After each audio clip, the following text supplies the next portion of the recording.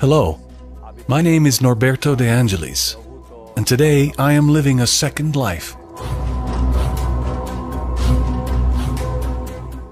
In my first one, I used to play football and won the European Championship with the Italian national team.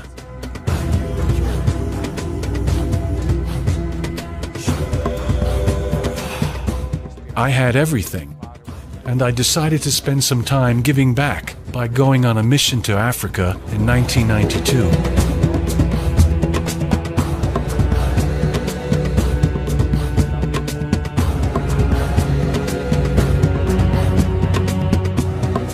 During that mission, I had a serious car accident.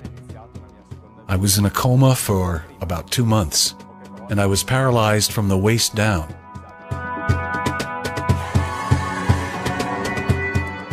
Since then, I've been living a second life. I still play sports, and I've started riding a handbike.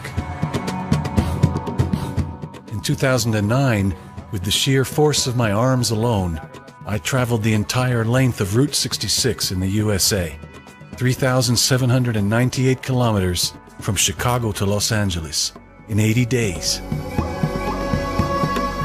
Today I have taken up a new challenge, crossing Tanzania from west to east, 750 kilometers over rough roads, to send the message from Africa to Europe that a disabled person can be the hero of his or her life and show solidarity with others. Most of all, I want to say to people with disabilities, you can do it.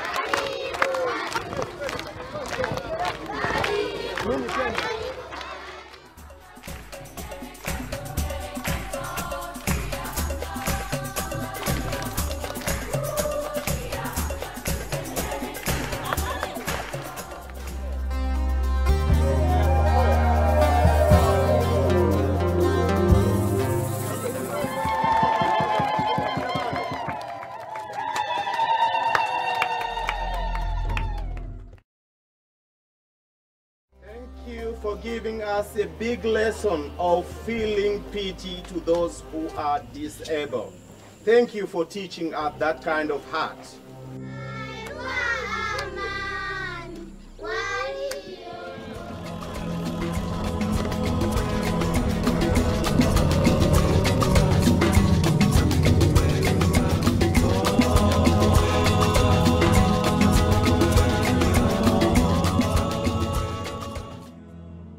First time we've uh, had uh, a disabled uh, cyclist uh, or actually dealing with a disabled person. This is our first experience uh, as a team, as a company. I've started knowing Norberto a little bit more after a few days. He's a man with lots of spirit, uh, lots of courage, he's pushing us a lot on the downhills. He's going really fast, and I think everyone is trying to catch up with Norberto. He's got his eyes focused. He's an athlete, uh, determined uh, athlete, and the amount of spirit that he has given to people uh, in the villages that we've passed by, in the orphanages that we've passed by, uh, in the disabled homes that he has passed by, to me personally, and to my team in general, that new discovery that uh, it's possible whatever you have, once you put your mind to it, once you set a goal, it's possible to achieve.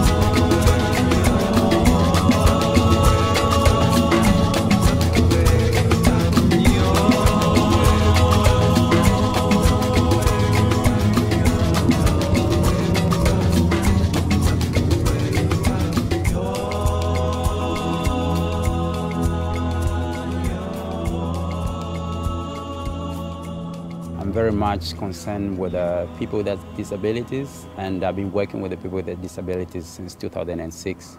And uh, I've seen their ability to be in the society and to contribute uh, positive change towards society. So I was very concerned on that, but also uh, was a good challenge in a positive way to show that uh, once this trip will be successful, will show that everything can be done but also the whole idea of like uh, giving people with disabilities. It can be a resource for others. And for those who are, who are, who are not disabled, must understand that it might happen tomorrow to be disabled. Exactly. As what happened to our fellow friend here. Absolutely. Yeah, I'm here for that. And most of the time you learn from them as well. And also you're trying to wear their shoes and think like if was you, how would you be thinking? And to me, I believe that uh, every change comes from, the, from your mindset. Once your mindset is positive, once you give out energy of any sort, you receive the same energy from these people. And it's bringing a lot of positive changes. As uh, we've been cycling around, you can hear people they're talking about this, people, media, they've been helping a lot. And um, even those places which we stopped, you can see how kids, you know, they've been happy and especially those kids which uh, has disabilities and you can see a hope coming. Some people are actually surprised that uh, they can't do the same activity that Norberto is doing and they're fully bodied abled people. It's like Norberto is achieving something much higher and greater to the disabled people. Like when we cycled with the people from Neema Artscraft, you could see the smiles you could see the mamas pushing hard and cycling like something like a rebirth, like something new had been, you know, given to them a chance that uh, they probably never got uh, when they were cycling around town by themselves.